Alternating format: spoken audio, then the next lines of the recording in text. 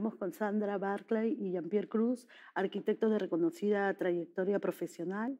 Larga es la lista de premios y reconocimientos obtenidos tanto a nivel nacional como internacional. En el caso de Jean-Pierre Cruz, eh, es también investigador, es profesor, docente universitario, como, como Sandra, y en su caso, editor de, de publicaciones. Tiene, tiene libros de su autoridad.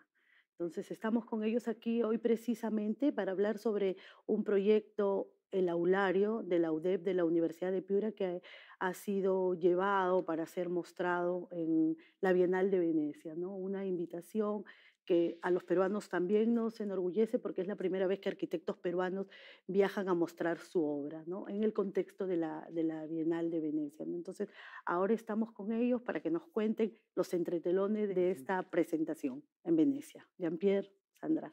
Sí, ¿qué tal? ¿Qué tal? Yo creo que es conveniente eh, explicar un poquito la trascendencia de la, de la Bienal de Venecia en el contexto de la arquitectura, eh, la Bienal de Venecia es el evento más importante del mundo arquitectónico este, que se celebra cada dos años, intercalado con la de arte, y eh, no, se aleja de las otras bienales en cuanto a que no es un muestrario de lo, de lo que los arquitectos hacen, sino eh, invita a una reflexión sobre un tema específico. Y, mm, lo que eh, produce la Bienal es el pensamiento arquitectónico del momento eh, con respecto a este, los temas eh, que los curadores que son elegidos por la Bienal em, consideran que son los más importantes en el momento. Claro, que se vinculan. En este caso, Jean-Pierre es Free Space, ¿verdad? Sí, el free space es el espacio libre y lo que eh, las curadoras eh, irlandesas eh, proponen fue explicar cómo la arquitectura produce este espacio libre, cómo las cuestiones intangibles de la arquitectura, o sea, la luz, el confort ambiental, eh, la, la, generosidad en, la producción del espacio, eh, cambian la manera en que uno vive eh, la arquitectura y la ciudad y cómo esto se transmite a través de la obra de varios arquitectos. Entonces es ahí donde estas curadoras, que son las autoras, entre otras cosas, de, de mm, de la UTEC, de la Universidad en Barranco, em, invitaron a 71 arquitectos de todo el mundo que para, para ellas expresaban eh, de la mejor manera esta, esta, esta cualidad de la arquitectura, esta, esta, esta mm, eh, este movimiento que se aleja del Star System, se aleja un poco de la gesticulación formal de las arquitecturas que se ha venido dando sobre todo desde los años 90 para recentrarse sobre eh, la calidad de vida, el bienestar de las personas, eh, la generosidad eh, que podemos darle los arquitectos a un programa. Jean-Pierre, las curadoras Farel Namara eligieron el proyecto del aulario. ¿Por qué crees tú que está tan íntimamente vinculado a lo que como tema ella pedía Free Space con un tema, este, un edificio público, un edificio educativo. Principalmente porque este edificio en particular em, se concentraba en, en la generosidad del espacio. Es decir, cómo transformar un programa, eh, que es un programa educativo como cualquier otro, eh, para ofrecer mucho más de lo que normalmente se hace con ese programa. Un aulario es un, es un edificio genérico de aulas que generalmente se resuelve en, todo el mundo con una sucesión de aulas, un corredor y unas circulaciones verticales. Y, el aulario puede tener cuatro cinco pisos, etc. Y nosotros lo que nos preguntamos a la hora de que la Universidad de Piura nos encargue de este proyecto es justamente cómo hacer un aulario en el bosque seco que es la característica del campus. Y, y, entonces regresar a, foja cero de cómo es un lugar de enseñanza. Es decir, no retomar el tipo este, usual de edificio académico, de pabellón, sino de construirlo y decir, bueno, si partiésemos de cero, ¿cómo debería ser un aulario en Piura? Y, partimos por el hecho de que eh, teníamos que prolongar esta sombra que produce el bosque seco. ¿no? El bosque seco permite la vida en el desierto norteño eh, y lo vemos en, los pueblos este, rurales a partir de la creación de sombra. Y, entonces eh, el edificio eh, crea mucho más sombra de lo que su huella de, programa este, hace. Y esta sombra es la que permite que los alumnos encuentren entre alumnos y entre alumnos y profesores fuera de las aulas. Y, para nosotros e, eso era este, esencial en el sentido de que hoy en día se considera que la educación de, un alumno no se da solo en las aulas, sino también se da fuera de ellas. Eso se llama la educación o el aprendizaje que se, que se, que se da fuera de las aulas, es eh, lo que llamamos eh, aprendizaje informal. Es decir, eh, conectándose entre alumnos, este, investigando fuera del, aula, eh, conversando con profesores fuera de una currícula predeterminada. Todo eso crea o fomenta eh, digamos, las ideas, fomenta el intercambio de opiniones y ahí es donde nos concentramos. y las curadoras escogieron ese edificio justamente por esas características. Hablemos un poco del programa, del programa del, aulario, edificios, ambientes. Sí, el, aulario está, eh, es un conjunto en realidad de edificios. Em, de 11 edificios. edificios que albergan em, distintos programas, desde eh, la, mayoría, digamos, de de metros cuadrados de este programa está constituido de salas eh, de clase inclinadas. Son 9.500 metros cuadrados aproximadamente. 9.500 metros cuadrados, donde más de la mitad son eh, aulas este, escalonadas. Em, hay talleres de trabajo eh, que son, digamos, espacios muy flexibles con aulas que se pueden integrar entre ellas.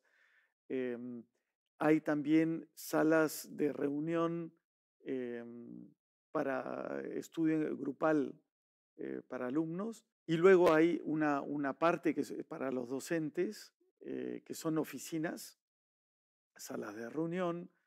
Eh, hay también servicios al estudiante como oficinas para las inscripciones, em, espacios, por ejemplo, para posgrado para que se puedan hacer los cócteles y el resto era todo lo que no estaba en el programa que nosotros propusimos y era una cafetería abierta, unos, unas graderías donde la gente pueda sentarse a estudiar este, fuera, de, claro, fuera del, aula. del aula. Y todos estos edificios eh, lo que hacen, o lo que tienen en particular es que están, eh, todos tienen como aleros y todos están, se acercan pero no se tocan, ¿no? Eh, y lo que hacen es producir sombra. Entonces hay mucha área, es alrededor del 40% del programa, es área techada, abierta, donde cruza la brisa y, hemos hecho mediciones y dentro de este conjunto de edificios eh, hay más o menos 5 grados centígrados menos que, fuera de las aulas, ¿no? que fuera, digamos, del edificio, más esta sensación de radiación térmica que cuando uno está bajo el sol siente todavía mayor calor. ¿no? Mm. Es un edificio eh, de 70 por 70 metros, sea, en, cuadrado, formado por estas 11 unidades. Uno de los edificios eh, también importantes es el edificio de ingreso, que es a su vez el que resuelve todo el sistema de escaleras y de rampas para subir al segundo nivel, pues, son dos niveles de aula, pero también tiene un rol bien importante porque es un filtro realmente para la luz, ¿no? Entonces está compuesto por estas celosías muy cerradas y, este, mm, y además es como mm, el espacio de, ingreso emblemático, ¿no? Frente a, una, mm, una esplanada eh, donde se le reconoce al, edificio como tiene, tiene una presencia importante en el campus. Además, este cuadrado de 70 por 70 está atravesado en el primer nivel de, varios lados. O sea, uno puede usarlo como corta camino, como para cortar camino para moverse dentro del campus. Y entonces eh, se convierte realmente en el edificio em, de, como punto de encuentro en todo el campus, porque realmente los otros pabellones que antes se han hecho eh, tienen realmente el área de circulación mínima, muchas veces no protegida para, para, o sea, contra el sol, ni, ni, ni, hay sombra. Entonces realmente este edificio, además porque tiene una cafetería ahí en el corazón, se ha convertido como en un punto de encuentro Em, y eh, estas, en estos espacios de aprendizaje, aprendizaje informal hemos construido estas bancas que tienen enchufes, entonces también los alumnos eh, hoy en día, pues que todo el mundo anda con, necesitando celular, laptop, y son espacios realmente de, encuentro donde se puede trabajar.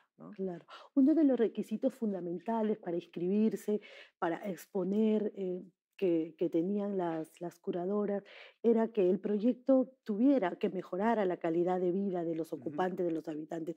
En este contexto, Jean-Pierre, Sandra, ¿cómo se inscribe el mobiliario para ofrecer bienestar y cumplir con este requisito que es mejorar precisamente la calidad de, de, vida de los estudiantes, de los profesores, del personal administrativo de servicio y de los visitantes ocasionales, ¿no? Sí, nosotros, eh, yo creo que Vale, vale la pena decir que este edificio fue creado eh, o, la necesidad de este edificio eh, sale de em, la, digamos, la, Universidad de Piura acepta a muchísimos alumnos de la beca 18, algo así como 800, y, eh, y se necesita más infraestructura. Por otro lado, los muebles también eran esenciales para lograr esto puesto que, eh, y esto creo que era también parte de la, de la, política de la Universidad de Piura, es decir, eh, que les vamos a ofrecer a esta nueva población de estudiantes, le vamos a ofrecer lo mejor, ¿no? Tanto como, como infraestructura de edificio como, como, mobiliario. El, mobiliario. Entonces, eh, digamos, nos, nos embarcamos en una investigación sobre, eh, primero, qué tipo de mobiliario, este, cuál es el más adecuado, cuál es el más versátil, porque también eh, nos parece importante que, em, el, mobiliario se adapte a em, las distintas eh, maneras de relacionar profesores con alumnos y las distintas maneras en que estos alumnos se puedan relacionar. Y esto era, esto era este, bien importante como punto de partida, ¿no? Sí, yo creo que el trabajo que uno hace como arquitecto es integral, ¿no? Em, estamos buscando con el trabajo que hacemos con el espacio de, de tener las cualidades óptimas para realizar la actividad que se tiene que hacer, ¿no? Entonces, tanto en términos de iluminación, de, de temperatura, de, de, sensación, de amplitud, porque uno no se siente bien cuando, por ejemplo, no hay luz natural. De la misma manera, eh, la misma reflexión se hace con el mobiliario, ¿no?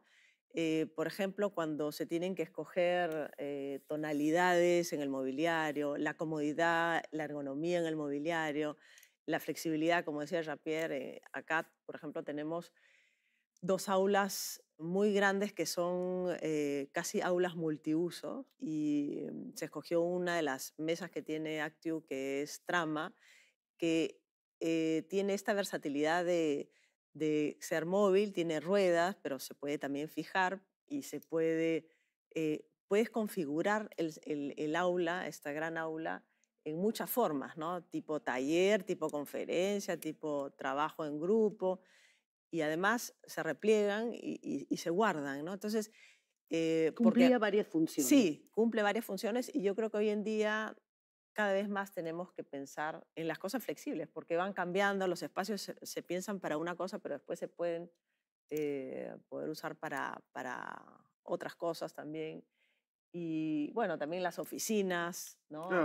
¿Y, por qué Jean-Pierre eligieron el mobiliario de Active? ¿Por qué, además de sus atributos ergonómicos, funcionales, también por los valores que esta marca implica, como es el tema de la sostenibilidad, todo eso estuvo contemplado dentro de lo que ustedes querían como, como, como producto, como referencia, como pieza. Claro. Eh, bueno, nuestra arquitectura, este, no, no queremos este, ponerle nombre de, sostenible ni nada, porque pensamos que la arquitectura, la buena arquitectura es sostenible. por sí, claro. Así mm, como los buenos productos son de buena calidad. De, buena calidad son sostenibles.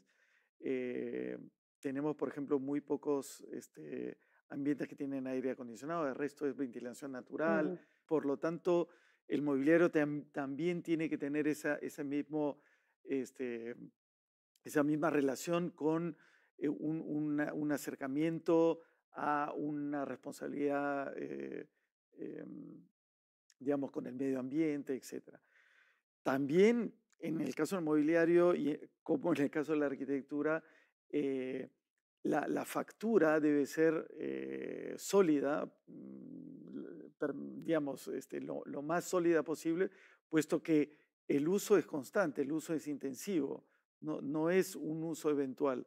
Y, eso también condiciona la elección del mobiliario y por eso Actu nos parecía que era una, una, este, una marca que cumplía con todos estos requisitos. Eh, y el otro, volviendo al tema de la versatilidad, que también era muy importante, que no es solo en las aulas, sino también, por ejemplo, en, en las oficinas, claro. ¿no? donde la línea vital, por ejemplo, nos, permitía eh, romper la, digamos, el, cuando, cuando hubiese la necesidad, eh, estas, estas configuraciones en L, poder variarlas, eh, poderlas usar de distintas maneras, acompañarlas de otros mobiliarios este, como cajoneras, etcétera, que conversen entre ellas, que no, que no achiquen el espacio y, lógicamente también hay otros muebles más singulares como los eh, Por ejemplo, los trama. Claro, los arquitectos, que, que, son estas mesas de, de salas de, de, reunión que, que son unos, unos elementos bien diseñados, que están pensados para ser apreciados como objetos, ¿no? Y, entonces eh, cada ambiente eh, fue eh, analizado para ver qué mueble eh, podía cumplir mejor su rol en, en, estos distintos espacios, ¿no? No solamente el espacio, el uso también. Y en el caso, por ejemplo, de ambientes como, como las cafeterías, como ambientes más públicos, ¿qué, qué tipo de mobiliario usaron? Para la cafetería queríamos trabajar con un mobiliario más juvenil y por eso escogimos eh, como mesa, por ejemplo, un, formato redondo, que es la mesa eh, tábula, que es una mesa redondita que se pueden sentar dos, tres, cuatro, hasta cinco personas, es bien flexible y em, es como juvenil. El, queríamos un poco... Darle ese toque. Sí, dar ese toque a la cafetería, porque finalmente la cafetería es lugar de encuentro, más dinámico, ahí están todos los chicos y y entonces eh, queríamos tener esta, este elemento más, más juvenil, que, más dinámico, que un poco se complemente con las líneas del espacio, que son unas líneas este, más rectas, ¿no? más, vamos a decir, más duras. ¿no? Y mm, yo creo que funciona muy bien, funciona muy bien esta combinación entre estas bancas integradas con enchufes que son todas rectilíneas, que son hechas en, en el mismo eh, concreto, y estas mesas eh, más suaves de líneas eh, curvas, ¿no? que son las mesas redondas. E, en cuanto a los talleres que se convierten también en centros de, de, de aprendizaje interactivo, ¿qué, ¿qué, pensaron para, para vestir estas? estos espacios, estas áreas? Pensamos, bueno, sobre todo en, en la mesa trama, que es una mesa que nos permite una configuración eh, flexible y o sea, múltiples configuraciones, porque en realidad es una mesa que permite eh, unirse y, separarse y cambiar y moverla muy fácilmente porque tiene rueditas, dos de las rueditas se fijan y entonces se puede, el, aula puede funcionar como aula taller de reuniones, de trabajo, de conferencia, este, una mega sala de reuniones, ¿no? muchas configuraciones, y lo complementamos con unas sillas espacio que son eh, negras, bastante cómodas. Eh, la idea es que el mobiliario en estas aulas no solo pues tenga esta, este sentido de flexibilidad, porque las mesas también se apilan, se ponen a la vertical y se pueden guardar y liberar todo este espacio, sino que eh, sean también de tonalidades neutras, como este, contaba Jean-Pierre, si nos interesa que tanto la arquitectura como el mobiliario sean el marco de, que permite eh, que las actividades se desarrollen de la mejor manera y son los chicos pues, que aportan el movimiento, el color y todo esto ¿no? al, al espacio y al mobiliario.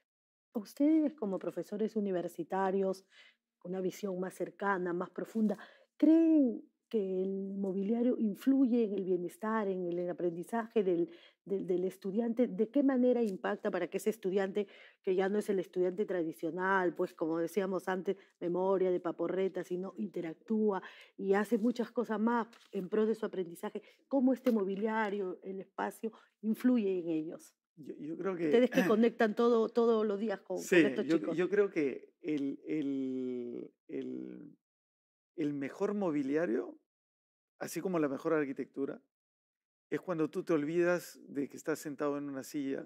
Porque te sientes bien.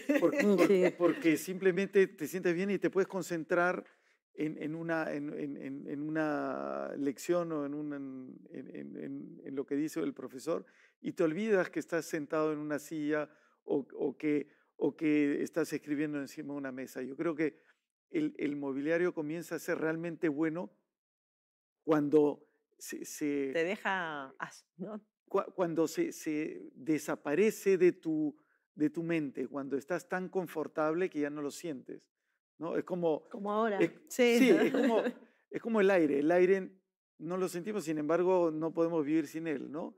Pero si lo sintiésemos, eh, si nos costase respirar sería otra cosa, ¿no? Claro, como que está tan intrínseco a ti que ya tú... Exacto, te tienes que olvidar que estás sentado en una silla, te tienes que olvidar que, que, que estás escribiendo encima de una mesa y solo te olvidas cuando la mesa está a la correcta altura, cuando la silla es suficientemente confortable, cuando este, eh, se, se su presencia se retrae, ¿no? Mm. Es un, poco la presencia de la ausencia, ¿no? Claro. está presente, pero se, se ausenta de tus, de tus problemas, ¿no? De tu inconsciente y te puedes concentrar en lo que estás haciendo. Y ustedes que han elegido Actio, creen que cumple todo eso. Sí, sí, sí. sí. Jean-Pierre y Sandra, muchísimas gracias. Creo que esta conversación ha sido bastante ilustrativa, y nuevamente felicitaciones por todos estos éxitos y bueno, pues esperamos que en julio nuevamente tengamos otro premio de la mano de la creatividad de ustedes. Muchas gracias, gracias Laura.